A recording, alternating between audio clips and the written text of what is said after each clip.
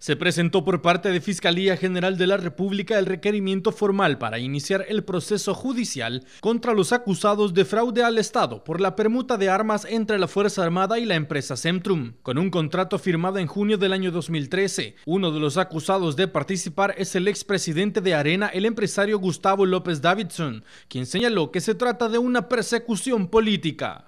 Esta es una persecución política muy clara y muy sencilla quiere ponerle esposas a la Corte, a la Asamblea y por supuesto a los opositores políticos, como nosotros, que queremos una democracia, una libertad. Esto no nos va a doblegar en absoluto y las muestro con orgullo, porque creo y amo en mi patria y creo en nuestro país y que nuestro sistema y nuestro sistema democrático va a trabajar para que nuestro país siga adelante. Y la red de corrupción es la que pronto van a ver ustedes que se va a ir desarmando.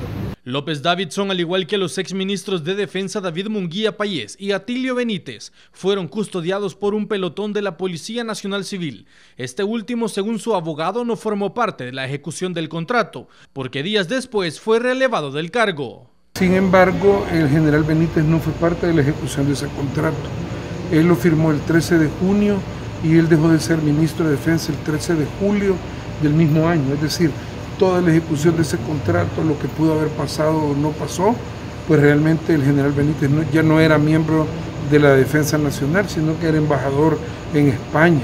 El caso seguirá su curso y para este miércoles 19 de agosto se tiene prevista la audiencia inicial a las 9.30 de la mañana para conocer si el caso pasa a etapa de instrucción y las medidas que habrían contra ellos. Imágenes y reporte de Néstor Hernández, Noticiero Hechos.